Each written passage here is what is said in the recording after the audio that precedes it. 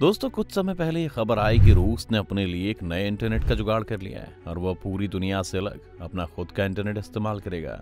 जिसके बाद यूक्रेन से भी खबर आई कि उनके यहाँ इंटरनेट की कनेक्टिविटी खराब हो गई है और इस मामले में उन्होंने इलॉन मस्क को जोड़ लिया, जिससे ये दोनों देश अब ऑप्शनल इंटरनेट के तौर पर कनेक्टिविटी से जुड़े हुए हैं, जिसकी अपनी एक इंटरेस्टिंग कहानी है।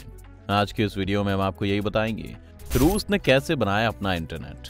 कहा जा रहा है कि रूस ने अपने देश में ऑप्शनल इंटरनेट सिस्टम तैयार कर लिया है और इसका प्रयोग भी सफल हो गया है। लोगों को जब इसके बारे में बताया गया तो वो हैरान रह गए। हालाँकि वहाँ के लोगों ने अपने इंटरनेट सिस्टम के इस्तेमाल के दौरान किसी भी तरह का बदलाव महसूस नहीं किया।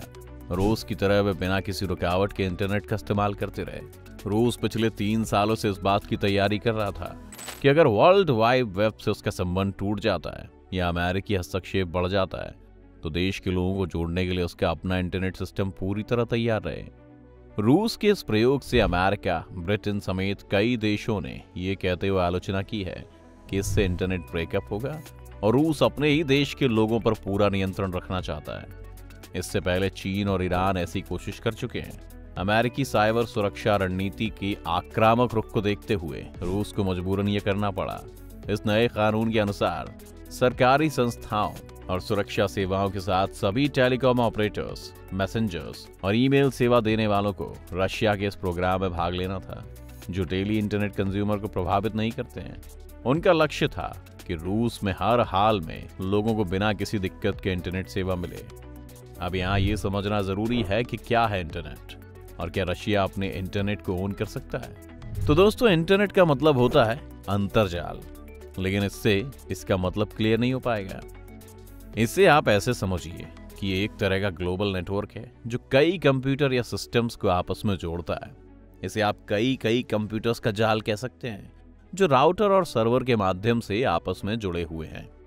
ये विश्व का सबसे बड़ा नेटवर्क है, जिसमें सूचनाओं और डेटा के आदान प्रदान के लिए ट्रांसफ़र प्रोटोकॉल का इस्तेमाल किया जाता है। इंटरनेट कहाँ और कैसे बनता है? अब ये तो आप समझ ही चुके हैं कि इंटरनेट दुनिया भर के डेटा का एक जाल है। हम जो भी सूचनाएँ इंटरनेट पर सर्च करते हैं, वो कहीं ना कहीं स्टोर हैं, जो सर्वर के ज़रिए ये हम तक पहुँचता है।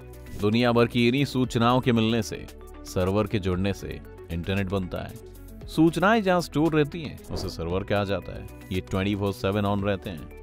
वेब होस्टिंग कंपनियाँ सर्वर की सुविधा देती हैं। दुनिया भर के सर्वर फाइबर ऑप्टिक्स केबल द्वारा जुड़े होते हैं। बालों से भी पतले इन केबल्स में काफ़ी स्पीड से डेटा ट्रांसफ़र की क्षमता होती है। अब मन में ये सवाल भी आता है कि आखिर इंटरनेट का मालिक कौन है? जो बड़ा दिलचस्प सवाल है। अब आप बाज़ार से कोई सामान लेते हैं तो उसकी कीमत देते हैं। उस सामान का मालिक कोई ना कोई कंपनी होती है। किसी सर्वर को लेकर भी यही चीज़ लागू होती है। लेकिन आपने कभी सोचा है कि आप अपने मोबाइल, लैपटॉप या कंप्यूटर में जो इंटरनेट इस्तेमाल करते हैं, उसका मालिक कौन है? B S N L Airtel Jio Vodafone वगैरह तो सर्विस प्रोवाइडर हैं, जिन्हें आप नेट पैक के लिए पैसे देते हैं। इंटरनेट के असली मालिक नहीं है। अब आप तो ये भी सोच सकते हैं कि इंटरनेट के असली मालिक सरकारें हो सकती हैं, लेकिन ये भी सच नहीं है।